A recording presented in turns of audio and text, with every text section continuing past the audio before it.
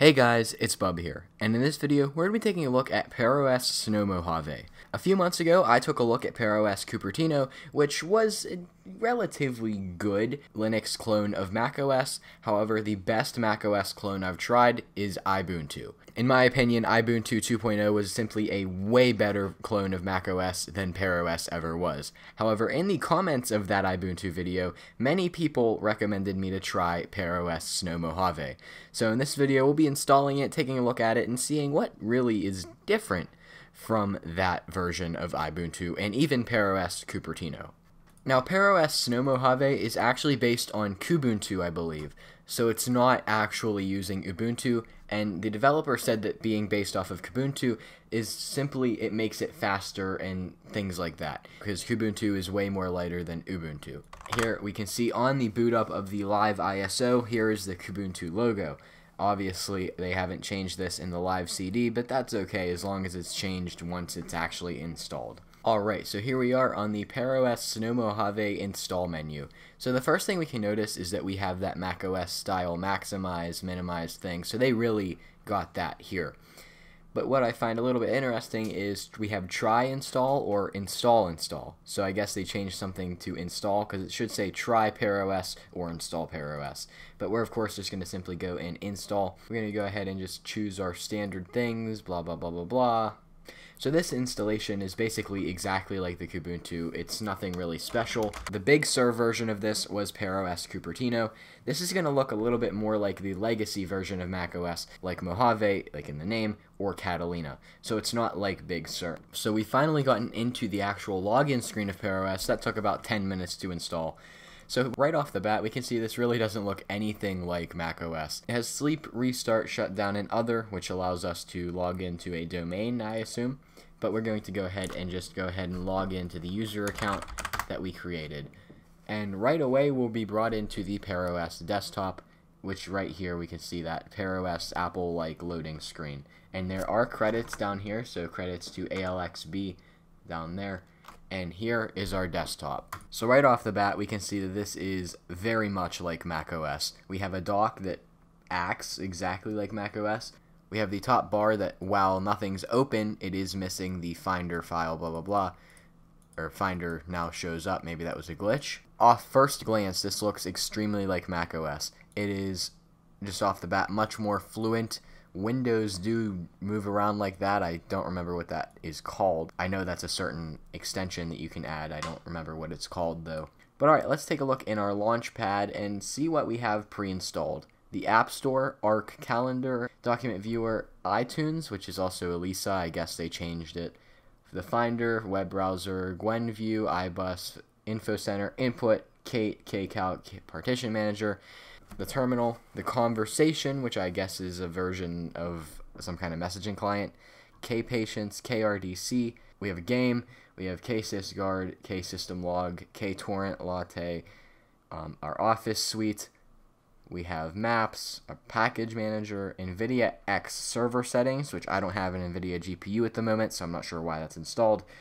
Okular, Pafari, ripoff of Safari, the Pear extension installer, integrated development something, Pulse Audio volume control, Rhythm Box, Skanlite, Spectacle, the disk creator, the system settings, terminal, Thunderbird, USB, and VLC.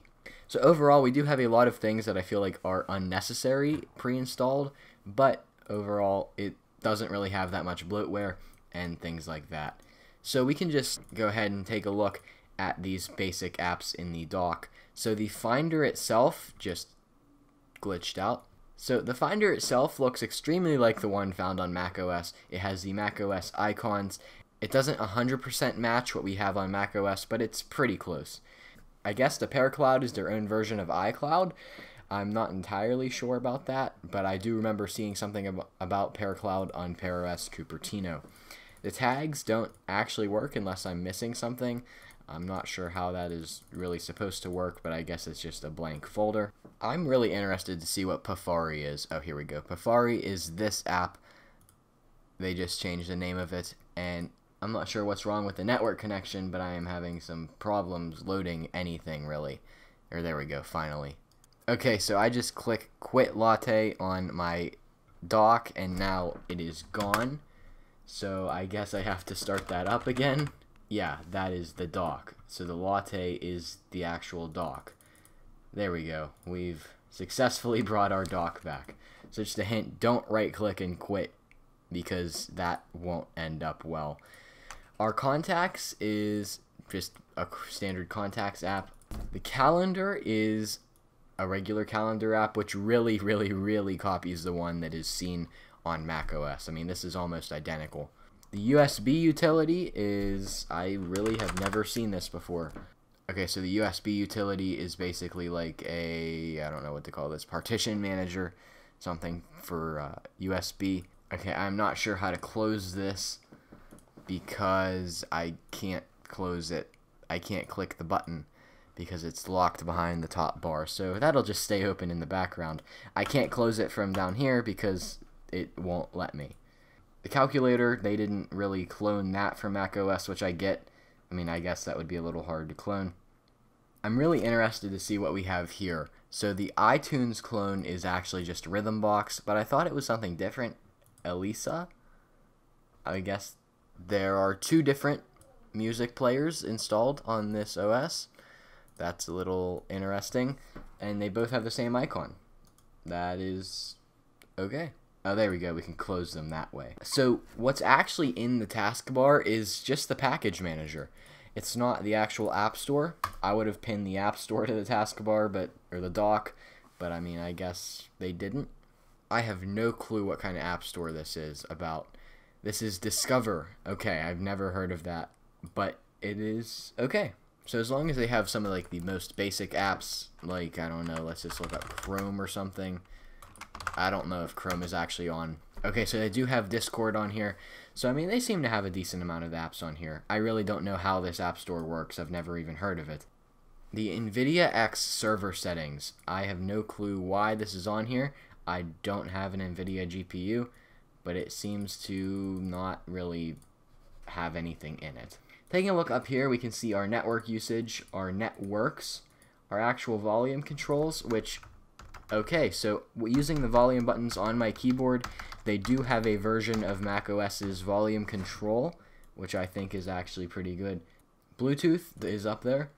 It does show a battery, even though this is a desktop, so I guess they couldn't figure out a way to disable the battery if it's there's no battery. Our calendar is right here. This does not look like the one that is seen in Mac OS, but that's completely fine.